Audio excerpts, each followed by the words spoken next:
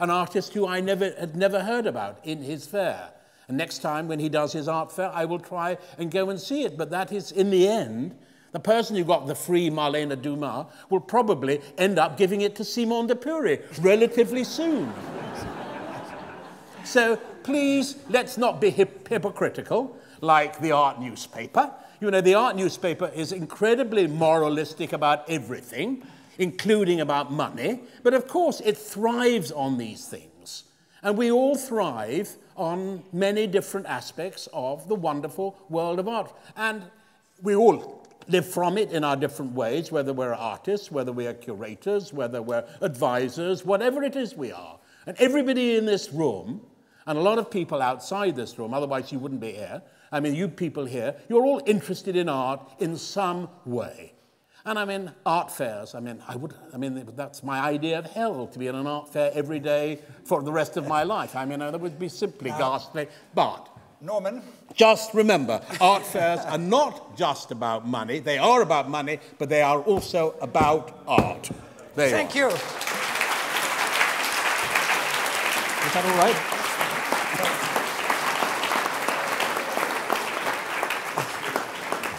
Thank you so much, Norman. Thank you to all our six extraordinary speakers on either side of the divide.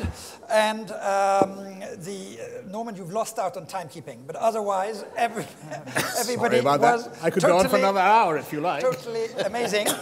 now we have to test, uh, now that each one of you have made your case, we have to test each one of you with our questions because at the end we will uh, vote against, and uh, then we'll see if you had really any impact at all on this fantastic uh, audience that we have. So um, I believe that we have walking microphones, and uh, any of you can now ask any questions you may have. So don't be shy. Yes.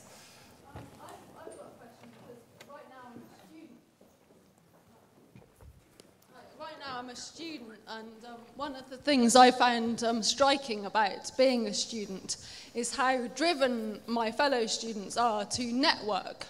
And I, and I feel that there's more emphasis put on networking, making the right connections, than possibly there is in art. I, art is something I care about. I want it to be a transcendental thing that you enjoy. I don't want to put my energy into networking and my concern is with all this emphasis on money and getting ahead, that that feeds down through to um, our MA and BA art institutions where people are more interested in making money, becoming famous, meeting the right rich people who support, who will support their art, rather than, um, rather than thinking about the art. That's something that I think okay. should matter. So if I can summon your question as an artist, uh, do you need to be a good artist, but also a good networker in order to be able to make it at all?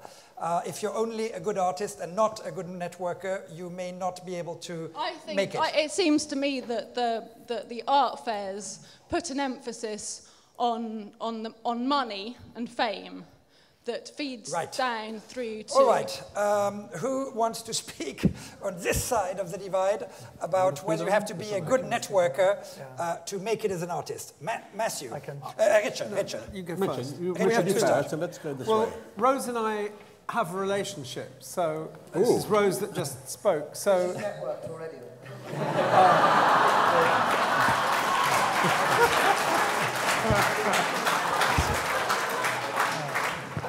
For once, I didn't stumble. I didn't say we were in a relationship. But actually, that's, an that's the first time I've ever heard that. And it's extremely alarming to me because I have responsibility to not very many students, but enough to care about. And I would never, ever um, put any emphasis there whatsoever. I would say that it, the world is real, and I think I do say that the world is real and I don't like the idea of somebody, um, fact, well, I'll take a risk. Um, I don't like the idea of somebody missing a trick, meaning that I think if somebody came to see your work next week, I would say, raise a smile to them, Rose. I wouldn't say, take your clothes off. I wouldn't, I wouldn't say buy a bigger Filofax. I would say use your nous. People are as nice and as nasty and as stupid and as intelligent, as interesting and uninteresting as is possible. But you're expected to negotiate that. Young artists should negotiate. Thank you, Richard. We have Matthew Collings who would like to yes, give his point. Yes, I would have thought um, that kind of lesson is best learnt outside the art school. And, that, and that's not naively to say that art is in a bubble on its own. It's just that there, it's hard enough to learn what art is, to understand what the history of forms has been, what, how that could possibly apply to um, contemporary life. It's hard enough to deal with that, which is essentially incredibly serious and difficult. And you're plunged into something which is far more difficult than you've ever encountered before, because you've both got to deal with the practice and the theory of this situation. To hear sort of flim-flam lessons about how to suck up to people is really for your parents to tell you, or for you to work out on your own, outside of the context of the teacher-student relationship. So I think it's quite right that Richard hasn't heard this dilemma before, that what he should have heard from whoever that student is, is uh, problems of art, not, not problems of networking. And um, I would have thought everyone in the room would agree with such a common sense view. Thank you, Matthew. Can we have another question, please? Uh, yes, please. I've been trying hard to swallow some of the impossible things I've heard. What I'm having most difficulty with is the analogy between the Frieze Art Fair and Robin Hood. I wonder if we could hear some data on the average income of the artists who sold work at last year's Frieze Art Fair. So maybe Matthew, you are the best equipped to answer that question. The average income, I don't, I don't know their income. All I know is that there's about 2,000 artists who benefited from it. Could I follow up on that? What was the least expensive item that sold at the, at the fair? Do you know that? 50p. I mean, it's a huge range. It's a huge range. Uh, the, we, we started a new section last year called Frame. There are 29 galleries there who paid £4,000 each for a stand. They did solo projects by artists the artists were very much unknown you know, artists. One of them hadn't had a show before, Isabelle Cornaro. She just had her first show in Paris. She's a fantastic artist. She sold this big, huge installation. The whole booth was one installation. I think it was about £10,000 for the whole installation. And uh, she's a young artist, and this made a huge difference to her. She sold it to a great collection. They had a lot of people coming wanting to give her shows, and she's just had her first show in a very small gallery in Paris that opened a couple of weeks ago. You know, it's not all the big hitters that you, that you read about in the press. Jasper, Don't believe what you read. I believe you wanted to. Uh, just one quick follow up for um, Matthew Slotover, though. He criticises the free art fair for not having enough women in it. I'm glad he believes that women should be equally, equally represented in art fairs and that there's an equal amount of talent within the female population. I hope you'll apply that policy to your own art fair. you go first, Jasper. All right, All right, well, that's a whole other debate. And, um, Second debate. One thing about, yes. about the French section of Frieze is that it was very much, it was a terrific section of Frieze, it was very much a pragmatic moment because the market had gone belly up. There was, there was space in Frieze. Actually, we decided to do it two years ago. That, that siphon, that siphon galleries, often, a lot of those galleries probably would have been shown in the Zoo Art Fair, which is one of the satellite fairs. Mm. We decided to do that before the market crashed. Yeah, it was, well, a, great, I, I, it was a great moment. It certainly, it certainly looked, it looked like a very we're particular do it for moment. next 20 years now. I mean, uh, actually we did it because we did think the fair needed freshening up, that there weren't enough young galleries in the fair, that people wanted to see new things, and that we started the fair with a focus on young galleries and young, young art, but as the fair grew up, those galleries grew up with us, and there wasn't room for young galleries. So and, we started and so what, if I may say so. I mean, if there's, you know, I mean, if that's what they do, that's what they do. It's just fine. And I do happen to know that one of those galleries sold a big installation to the Tate Gallery. I happened to be in a very small gallery in Berlin two day, three days ago, and this gallery told me who was part of that particular yeah. section, yeah. and they sold their in, this installation to the Tate Gallery. I'm talking about market pragmatics rather than actually kind of curatorial decisions, and it certainly made good market sense to put younger galleries in Frieze at that moment. Yeah, That's and, what know, I'm. I was very delighted to hear Jasper's uh, quotes from the galleries about how well they've done. Frieze. Frieze is a business, absolutely. It's, it, we exist to rent the space to the galleries. The galleries becomes the fair to sell the work. that doesn't mean it's only about money. So the debate is over then? You've just admitted that Sorry, art sorry. Sorry. The debate is not over. It is not by only about money. A business by definition is about money. Not yet. It's not. That, so you not- can't say it doesn't mean money- it's only about It's money. about money That's what and a about business is. It it's sells art- things. I mean, I think Jasper and Matthew have a problem with the art market. It's, and I, and I Excuse don't me. Moral problem. Bless you. Yeah. Um, I think everybody in this room should have a problem with the art market. You know, everyone has a, has a, there's a pragmatic side to their life. There's an empirical side to their life, an ordinary side to their life where, where they have to negotiate money. And what they hope from higher forms of existence, like culture, and, uh, uh, which takes many forms, is some kind of answer to the difficulties uh, of life, which are very, very deep and very profound, and we spend a whole lifetime trying to work them out. And, and what we object to, if we are on that kind of path, is, is a profound uh, confusion between the pragmatics of life and, and a way of philosophizing This is life. crap. I Which mean, is what, total what crap. Should, should writers not be paid for their work? Well, Should- I, I should- think you've, I think you've uh, confirmed my argument when you say it's crap. Should- when you say philosophy or, or thinking about life is crap. This is my should fault I- because should I I- asked for an aggressive debate. So I'm glad to see we're getting there. I'm speaking with the wisdom of a saint. I mean, I'm in hardly a, per- being in aggressive. a perfect world, all food would be free.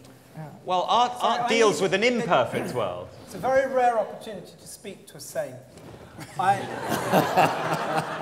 and Antony Gormley can't be here. I, I want to ask you, Matthew, um, I, I'm very interested in this idea about pragmatics that have to be like a laminate, has to be peeled away, or is it the other way around, where art is peeled away? In a world of uh, writing, which is creative act, or um, uh, going to spend a day in an art school with young uh, art students, um, what do you think the appropriate fee should be? And should that be peeled away or not peeled away? Well, when you're spending a day in, with your young students, you're not saying that um, basically this is a business. Although everything can be reduced to a business, you don't say when you go to an art school, this is basically Well, a let me ask the question You could, you could get way. involved in other businesses, Okay. which would be far more lucrative. Can lucrative. I just say I'm, something? I'm, an I'm, artist. I'm nearly Wait, finished. you've- I'm you've nearly finished. I just need to ask a really important question. So you do I'm- have values other with- than money. Well, I just want to clear something up. I mean, my wife is at home tonight. The telephone may ring, and she'll probably say he's doing voluntary work. What I want to know is Are we being what does it cost to get out of bed? What would you, you know, I, I like to know what am I going to get out of bed for? What do you get out of bed for? Well, um, I, I, I don't think art is there to tell us what we get out of bed for. It's not, it's not entirely, although of course it's involved in this earthly plane on which we live. It isn't entirely about the pragmatics of existence, which is what money is. Money is a kind of convenience. It's the tool that we use to negotiate trade and barter and how we cope. Whereas art is a sort of philosophical thing that looks at all the problems of the rest of life. And what we object to on this side of the table, and I'm sure you all do too, because you're all very honourable people, it's just you've lost your bearings. But what we object to is a profound confusion. It's you guys who've lost your Profound bearings. confusion between business and art. If, of course, they're, they're, they're profoundly different. One is opposed to the other. But they are not the same. Can I, I, I would like, the, the thing that I love about hearing you is that you speak so beautifully. I actually just like, you're just, I think the word is euphonious. I love it. And I would love to have a voice transplant. But there is a kind of um, uh, righteousness that comes with it, which I'm not quite comfortable with. And I think you have a potion, which is a delaminating potion, which separate, where the money is somehow peeled away and then art just floats. on- But you keep saying this. Um, I don't think any artist, any artist in the world says we don't want to earn money. We just don't want to be told what to do by hedge fund managers, by Phillips de Pury and by Matthew Slotover. We want the power to be in the hands of the people who make art, not the people who commission it. And things like Frieze, things like art fairs, put the hands in the, the power in the hands of the customer, the buyer, the person in the shop which is Frieze. Mm-hmm. I'm happy to earn money. I'm happy to sell my art. I'm happy to sell my paintings to any of you. I just don't And the want higher the price, the, market better. to tell me and the higher the price, the better for you, of course. Of course. I There you want are. money. I just don't want the people with money telling me what to do. But they won't. We live in a democracy. We don't get everything told. We don't have the richest people decide how we live. We don't have the richest people decide that they get the best healthcare. We live in a society, a community, where people come together, where people do things not just on the basis of money, not just because they need to earn a living, but because we have other values than earning a living. If you guys don't understand that, you're cracked. Now we're talking. I love it. Now, now Can we I really just- have passion. We've got plenty of passion at the table, and it's time to get back to the audience, and we have a question about, about to be asked. Yeah, um, if uh, art fairs are just about money, then why is it a threat to this vision of the art world that you have? Well, um, I think fairs are really a way of encountering art, but my position is that they're the least good way. I don't think um, art fairs are completely without merit, of course. I, I think they are definitely a, a practical way of encountering art, but they have the least sort of idealism about them of all the other ways, and one misses that idealism. Right. Any, any other questions from the audience? Yes, please, madam. Uh, we will bring you a mic instantly, I guess. But you can already start. Anna, voilà. Hi, sorry, I, I, I've got the microphone back here. I think Hello. I'm in the most difficult position to speak right Ah. in the far corner. My name's All right, Tarek. we'll get back to you, madam, in a moment. My name's Tarek. I run an organization that deals with contemporary art. It's not my speciality. Uh, I wanted to thank all the exhibitors. I appreciate your having to present quite extreme views, but I can't, for the sake of me, understand people that I should be defended, actually. I, I don't understand how you can talk about the plight of the artist, but be quite so upset about the art market as such. And uh, we've talked about it a little bit, um, but as an example, for example, I don't understand the merit of giving art to a homeless person. Uh, somebody pointed out earlier that they'll just go straight to an auction house to sell it, and it goes straight back into the market. So I guess my question is, what are you envisaging, and is it mutually exclusive? I mean, can these things not work together? Can there not be art fairs as much as there are at the moment independent exhibitions all around London? Why do they have to enter into any sort of conflict? I, Why I, shouldn't a homeless person have a piece of art? And why shouldn't a homeless person make money out of art better than um, Charles Saatchi or some other rich person selling their work But on then we're talking about ownership, and I, I think that another point that I would like to make on that topic is that it's not that rich people are deciding what is good art, they are just deciding what art they would like to own and what art they are prepared to pay for.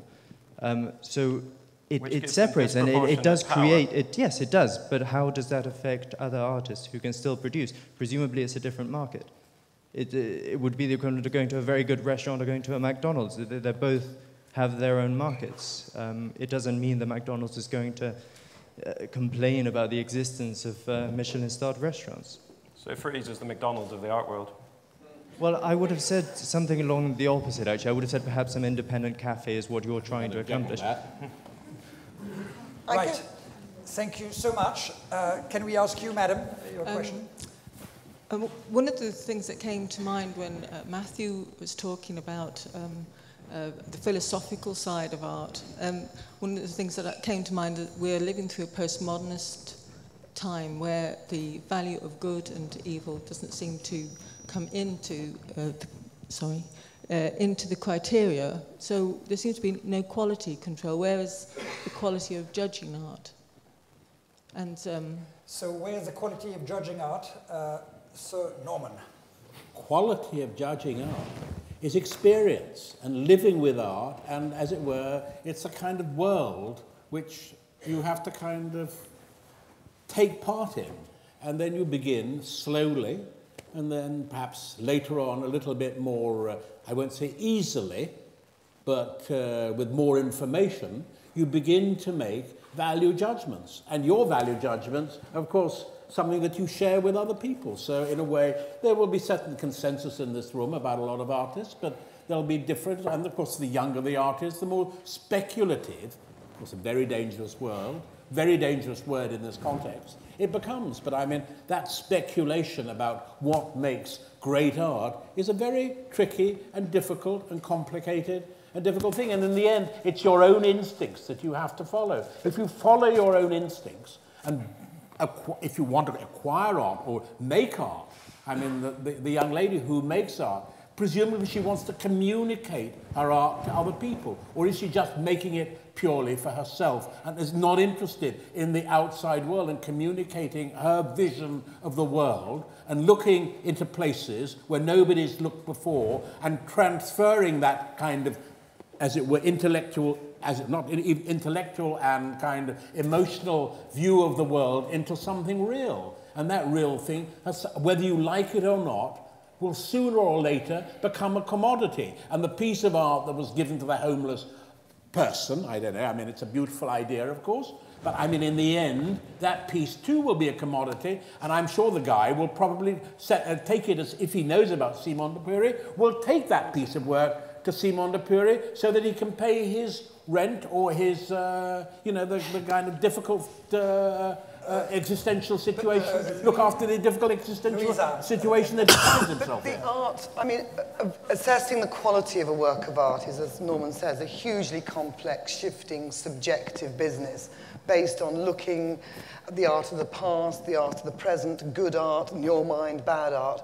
But the market is a very unreliable barometer for quality in art. What makes the highest prices ain't necessarily the best art. And I think, you know, this is the issue that I have. I don't think Matthew's the prince of What darkness. is this word about best? I mean, I don't think, I think, I think exactly, because it worse. changes all the time, exactly that. And but And what's think best for somebody market- is worse for but somebody the market, else. what makes huge telephone number prices is not necessarily a barometer of quality in art by any means at all. The market is a very shaky one, and you see an awful lot of bad art in an art fair, and you'll see less Bad bad, for you, art in my a darling. museum, Bad for in you, a gallery. baby. But I mean, bad for You know, you. so because there's a Of a filtration amount system. bad art All in art stop fluffing away, Norman. We all, we all. A lot of sins are committed in the name of art, Simon.